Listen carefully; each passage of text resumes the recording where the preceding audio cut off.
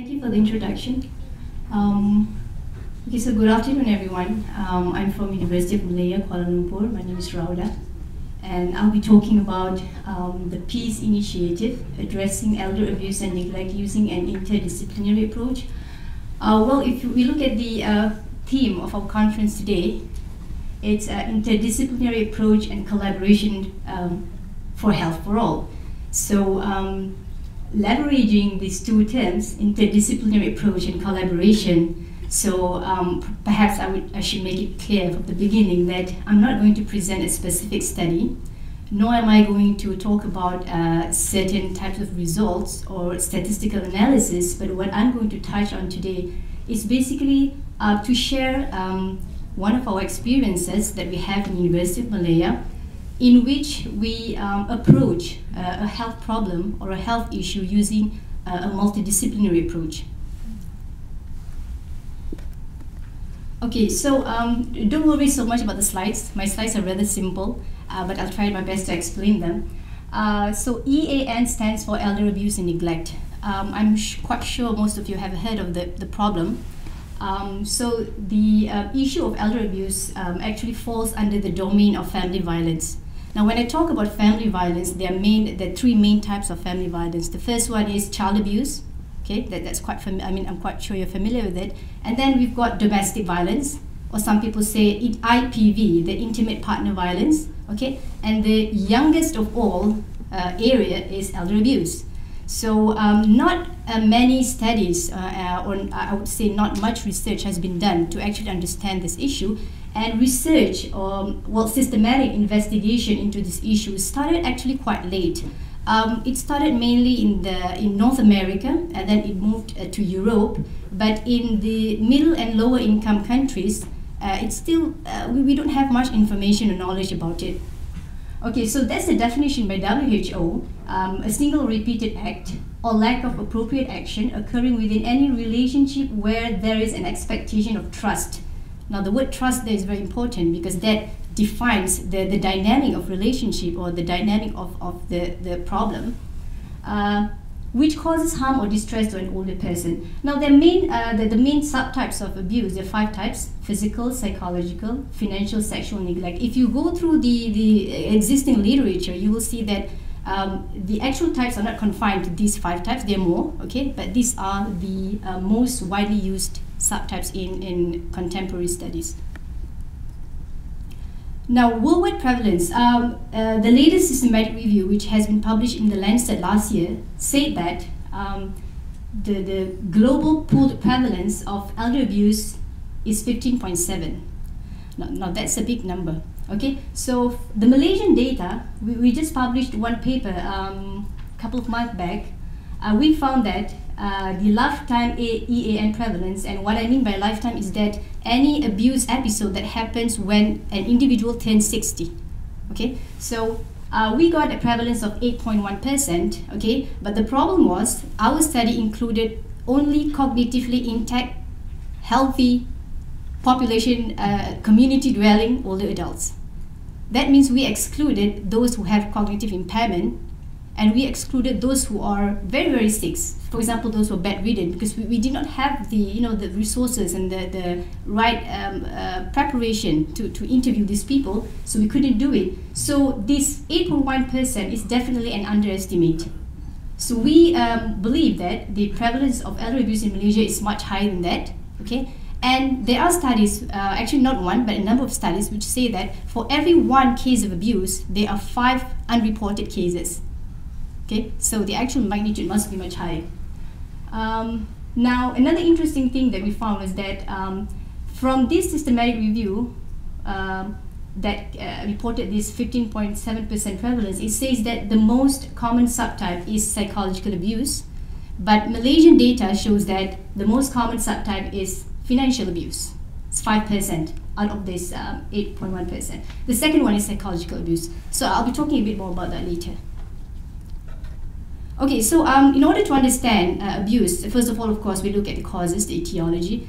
And since uh, elder abuse is quite a new um, field, I would say, um, relative to the other two domains, which is uh, IPV, intimate partner violence and child abuse. So most of the theories attempting to explain abuse come from the literature of child abuse and domestic violence.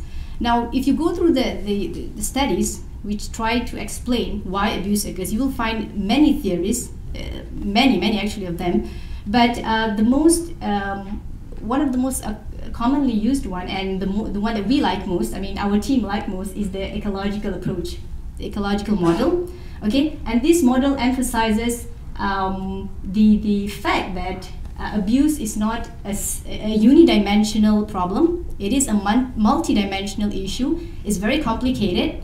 And in order for you to understand it, you can't just look at the individual, you can't just look at the abuser, but you have to look at um, you have to include uh, the, the characteristics of society and also the bigger system in which the individuals are living. Right, so this, uh, this is the ecological model, okay? So you can see that um, uh, this is the individual and then they are, you know, the, the, there's the family influence, the peers, and then what happens around them, you know, the immediate environment, the society in which they're living, and then the bigger system, the culture, the legal system, uh, the socio-economic, and, and so on and so forth. Right. So um, if you look at uh, existing evidence at the moment, okay, so um, uh, the list of studies is very long, so I can't show you every single thing, but I'll just focus on these three studies. Just for example, uh, two are systematic reviews, and the one in the middle is uh, an, uh, an original study. So you will see that um, what I focus is just this the, the third column.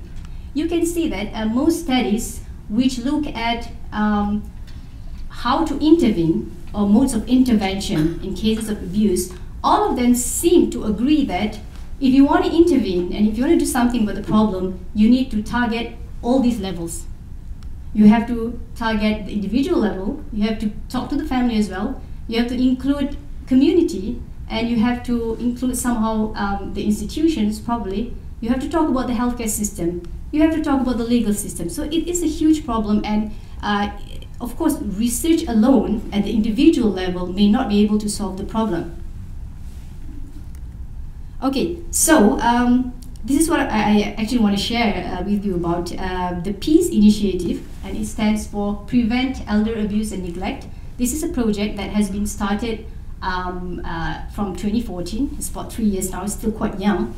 Uh, it was started in University of Malaya. Okay, um, it was in conjunction with two national policies uh, on older adults, and this is what uh, the program is all about. It's a five package program aiming at advancing elder abuse research and services through a coordinated multi step approach involving various stakeholders. So these are the five objectives. Okay, uh, you can see that the first one focuses on research because we think that research uh, is, is, you know it can't solve everything. Research is part of it, but I'll talk about my role later. My role is mainly here. I'm, I'm a PhD student, so this is what I do, okay? But the whole team is, is much bigger than that, okay? So we've got uh, people working, uh, you know, giving education, training, um, people working with caregivers. We've got lawyers with us trying to push for a new act in the country, uh, and so on. Okay, um, uh, this is the scary uh, diagram. Um, Yes, it's very complicated and um, you don't have to worry about it. This is basically just a logic model uh, to show um, the overall view, or maybe I can say the helicopter view of the project. Okay, don't worry about it. It's just um, just to show that okay, we've got process. What are the outcomes? Short-term, intermediate, and long-term outcomes. And uh, I'll focus mostly on the processes, like what we are doing, what we plan to do in the future. So this is our approach. Uh, it's a, it's a transdisciplinary, or I would say interdisciplinary approach. Um, wait. So these are the, the, the uh, stakeholders that we think uh, are important. Um, it's not actually a plan. We have reached out to these people. We are working with them, and we have got uh, quite a number of achievements, which I will share with you afterwards. First of all, we reach out to the to the individuals, the victims, of course, because when we, you want to solve a problem, you have to first uh, focus on who will most benefit from your research findings. Um, and then we approach the caregivers and the family members because uh, when you talk about abuse, uh, there is a victim and there is a perpetrator. So you have to include both and you have to take into account the perspectives, uh, perspectives of both parties. And then we go to community. Okay, of course, uh, when we, you talk about community, you'll have to um, think about the, the mentality, the, the, the values, the ideology. How does community view the problem? Do they care? Do they want to talk about it? Do or do they just you know like, dismiss it? Uh, do they hold any uh, uh, ageist attitude? For example, uh, I've actually come across many people who are who have some sort of prejudice against the old people. So uh, that's what we addressed at the community level. And then healthcare providers, uh, this is very interesting and very important. Uh, we found that um, we've, we've done quite a number of interviews with doctors and nurses, and we found that many of primary care physicians in Malaysia either don't know anything at all about elder abuse, some of them know something but don't want to interfere, don't want to talk about it because they feel like, look, I'm a doctor, you know, what, what do I have to do with this? I, they don't see their role in this problem.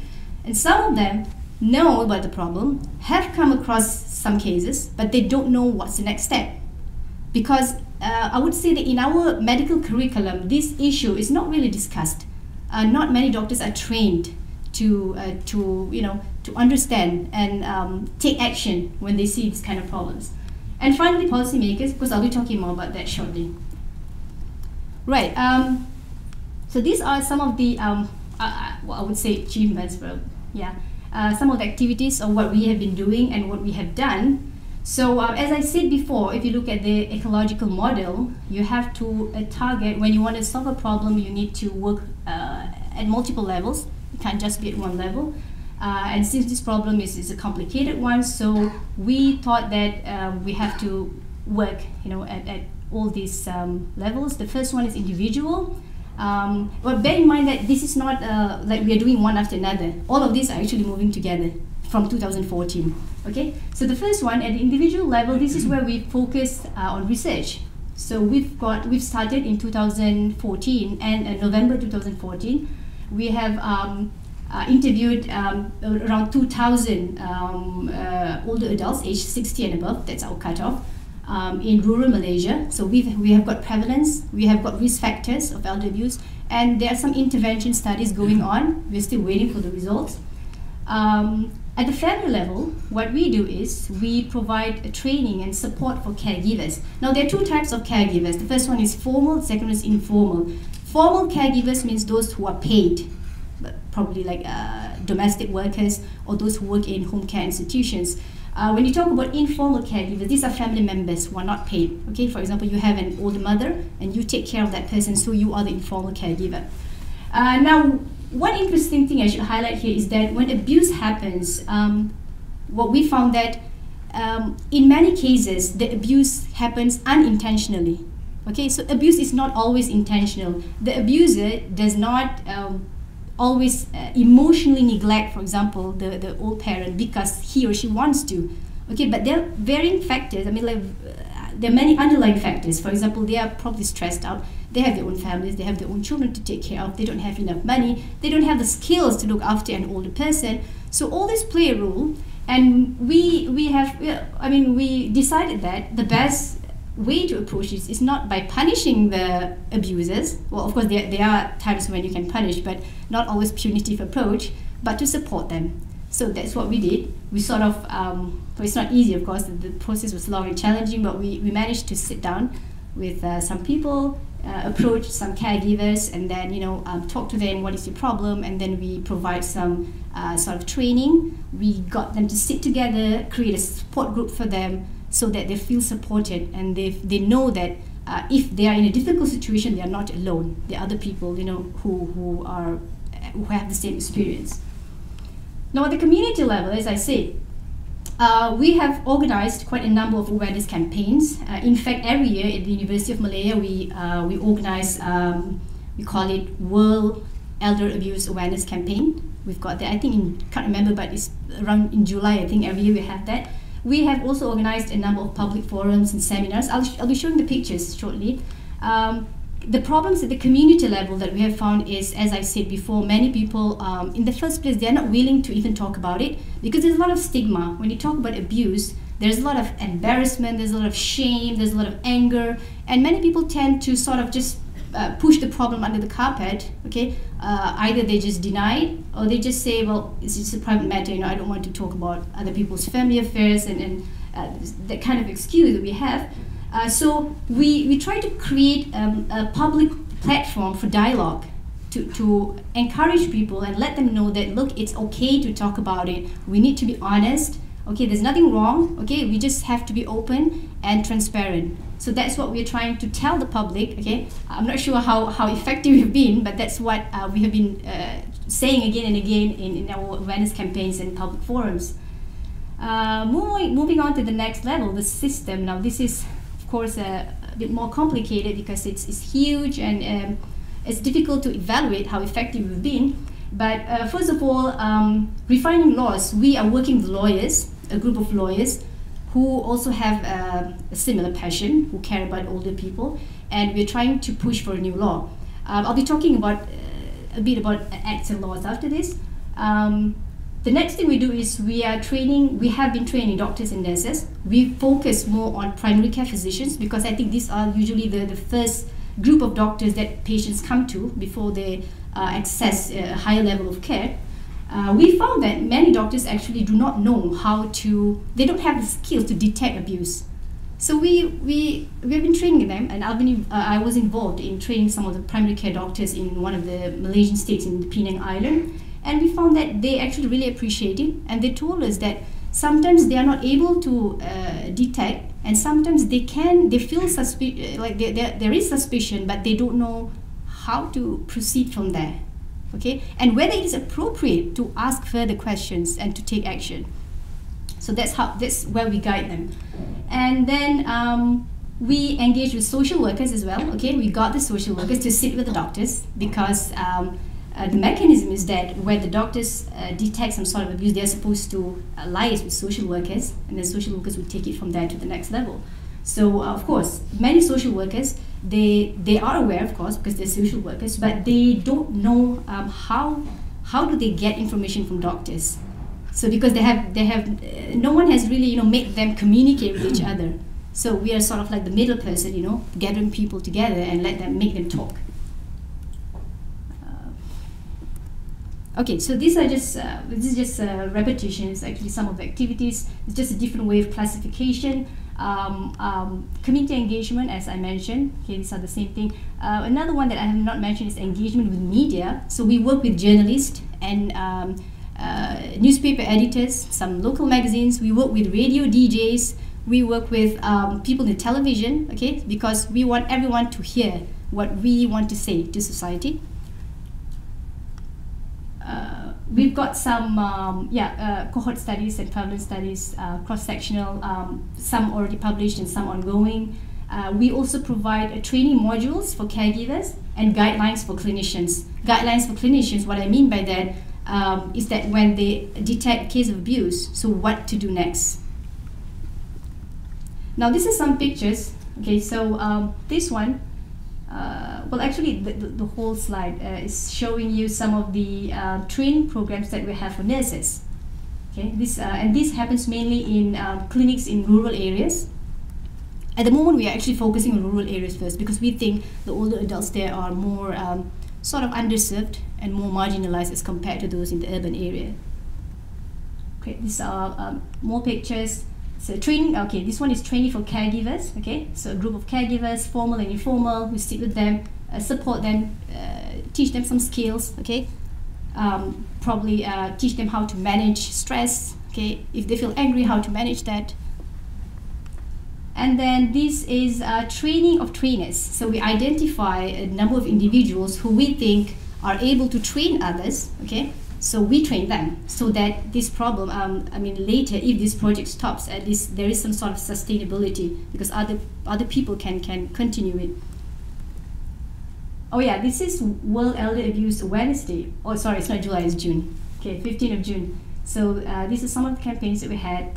Uh, some of the newspaper articles that we've written. This is a program that we have with older adults. Okay, uh, we from time to time we have regular um, you know, physical activity with them. Okay, we go to um, residential areas. We invite the older adults, you know, to to just come up from the house and mix with each other. Because as you know, one of the uh, risk factors of abuse is social isolation and low social support. This is this has been proven by previous studies. So by getting them to talk to each other, by creating some sort of social support and social capital for them, this can actually um, help them uh, help reduce the risk of being abused. Okay, so yeah, uh, we've written quite a number of, uh, we've made a lot of noise actually in the local media, and we're proud of that. Uh, we've written to um, different newspapers, uh, including the Chinese newspaper. That's my supervisor, uh, although I don't understand anything here. But yeah, that's I believe they translate what we say. and we've got a, a, YouTube video as well. I, I can't play it now, but I have the link later if you're interested.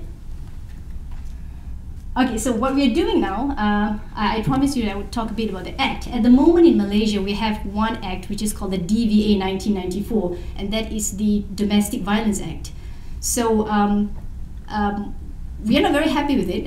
I mean, we, the, the, the, the advocates for uh, older people, because we think that it's not enough. When it was first designed, it was mainly designed for abuse of uh, partners you know, for, for cases in, uh, in which wives are abused, mainly physical abuse. So we don't think it's specific enough. And many lawyers are saying the same thing actually. We have talked to local lawyers and they say that no DVA is not enough. We need a specific act to protect older people, older Malaysians from abuse. We have got Child, uh, Child Abuse Act, we have got Domestic Violence Act. So why can't we have an act for older people? So uh, we are working at the moment with uh, lawyers, with social workers, and also with uh, quite high-level policymakers. It's still um, being discussed. It's not there yet, but we're pushing for it. Future initiatives. So um, just a short plan of what we're going to do in the future. Um, we found that financial abuse is the most common. Excuse me. So um, we, we feel that it's important uh, for us to delve further into this uh, specific subtype to look at the risk factors uh, and what kind of intervention can actually work. Uh, with, there is some data on this, uh, but most of the studies in this area has been done in uh, the Western countries. I think in the uh, in the more higher income context, but for, for Malaysia, you know, it could be very much different. So we need our own data.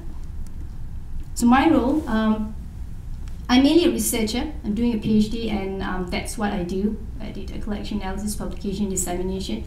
Um, I've published about four papers, and um, I help in advocacy as well. I do radio interviews, and I write to newspapers, and of course, networking and training. Um, I present conferences, and uh, I train primary care doctors and nurses mainly on uh, how to detect abuse, like what are the signs and symptoms uh, and also I, um, I'm involved in um, giving them guidelines. That means um, letting them know what to do if you detect an abuse case, uh, in, especially in the clinical setting.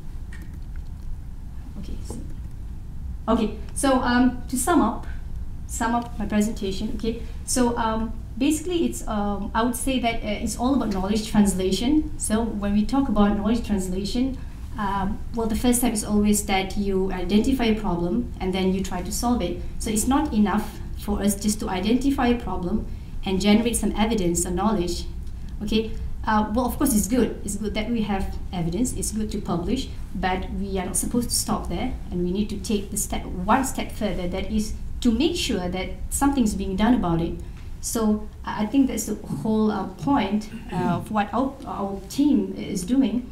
Um, we, we, are, we have created some research evidence now. We have the knowledge, though not complete, perhaps, uh, but we, we don't think we have to wait. So we just jump directly to how to translate it, and that's why we um, create these multidisciplinary teams, as I have mentioned to you before, and we try to move forward from there. Right, um, so these are just some of the lessons that we learned uh, through the interdisciplinary collaboration. We've got knowledge sharing, new ideas, uh, far-reaching outcomes, and also a lot of challenges. Uh, maybe I just uh, should make one last point that when you work in a multidisciplinary uh, team, uh, it's not always easy or smooth, even though, yes, you will achieve more in the end, but there are a lot of challenges because when we sit with people with different backgrounds, um, they've got different experiences and they've got different perspectives, especially when you talk to policymakers and politicians, for example. We need to understand their perspective and we need to understand what is it that, what are their concerns. It may not always be similar to what we think as researchers. Okay, well, the first lesson. Um, if you want to go alone, uh, if, you, if you want to go fast, go alone. If you want to go far, go together. Uh, it's acknowledgement. Thank you uh, to um, our funders, University of Malaya, Julius Center, uh, JCUM, uh, the Kyoto Global Conference organizer, just on time, okay, and Population Studies Unit. So yeah, um, any questions?